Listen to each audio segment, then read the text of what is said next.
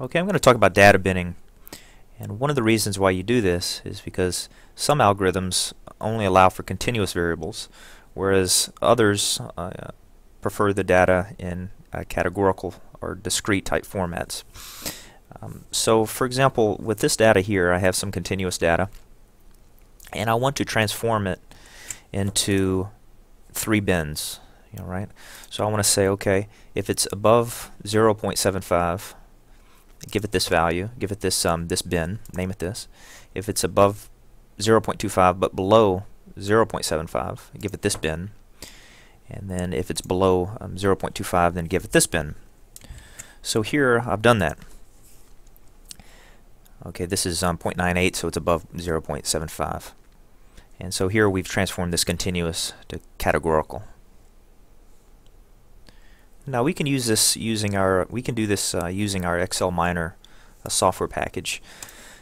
So here I have um, some data, and for example here uh, age it's in a continuous uh, format. Um, uh, previously I have to go look at this, and there's 46 uh, unique ages, um, a minimum of 23 in this data set, and to a maximum of 67. So here, for example, I've I've plotted it out I've, um, I've created a histogram. Um, so you know here you can just see um, you know how it's distributed you know across. So let's say for example we want to create um, five different bins of, of ages. Well uh, this is pretty easy to do within uh, XLMiner. I'm going to show you how to do that.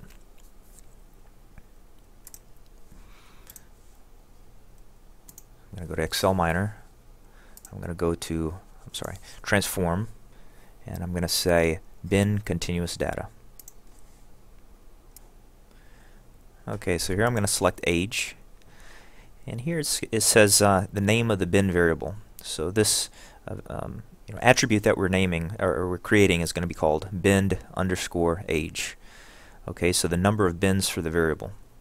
Um, this gives it a value of 19, but we don't want that many. We want um, five different bins.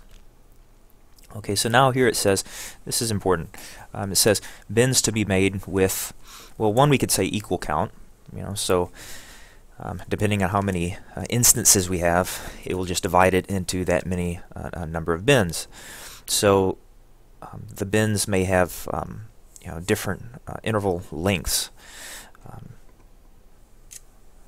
Okay, so with equal counts, um, maybe we have um, a thousand instances between um, the years, uh, the age of 20 to 30, and then we have, you know, a thousand instances between 35 and 40, and then we have a thousand intervals, uh, a thousand instances between uh, 40 and 60. Um, the interval lengths are all very different, but um, um, we have an equal count. Okay, so this equal interval now, it's where we just have uh, equal uh, um, um, um, length of, of the, the bins. So maybe each contain uh, uh 10 years uh, worth of data. Okay, so let's go with um, equal count. Okay, and this says uh, start at 1. And so the first one will be, if we have 5 here, it's going to be 1. Um, second bin will be 2, 3, 4, 5. Okay, this is interval. Now, this is kind of weird, but it um, what this means here is this is just naming the bins. So, for example, the first bin would be named 1. 1 plus 2 is 3. 3 plus 2 is 5. So the, the first is 1, the second is 3, and the third is 5, 7, and 9. But um, um, makes more sense just name it um, just 1, for example.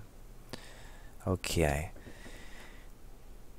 And then we're going to say apply this option to the selected variable. Okay, check everything out. Okay. Okay.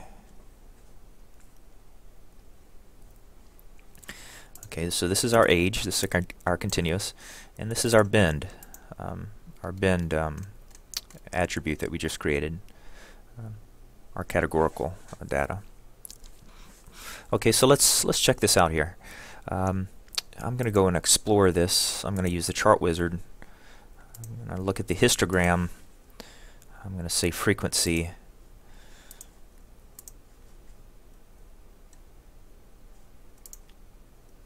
And then finish. Okay, so this is our age. And now let's color this by the bin. You know, so for example here, you have um, you know a thousand between this age and this age, and then just because uh, um, you know we're, we're counting in, in, in, twos here, um, it looks as if it's kind of split in the middle here, but it's um, 34 and 35 is actually the blue, which is the first bin, the second bin, third bin, fourth, fifth um, bin. So you can kind of um, you know, see this. So this is the continuous with uh, the, the, the bend ages on top of that.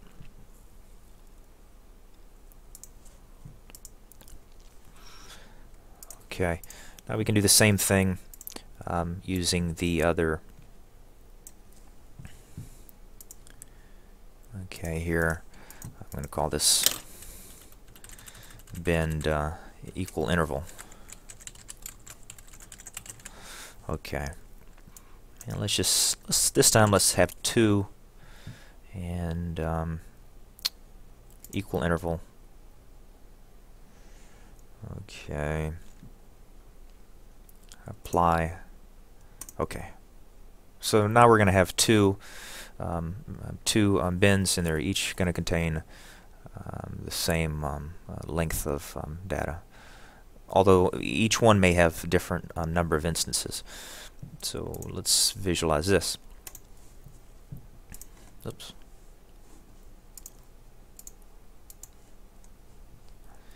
Create a histogram.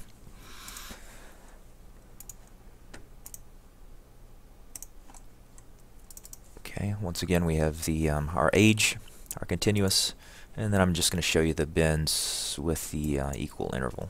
Okay, you know here it's just split up into two two groups.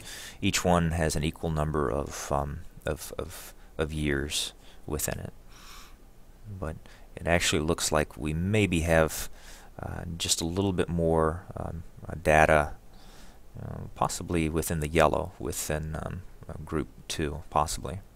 So these are probably a little bit unequal, although probably pretty similar. Whereas if we had chosen the other, uh, we would have had the exact number of um, instances in both.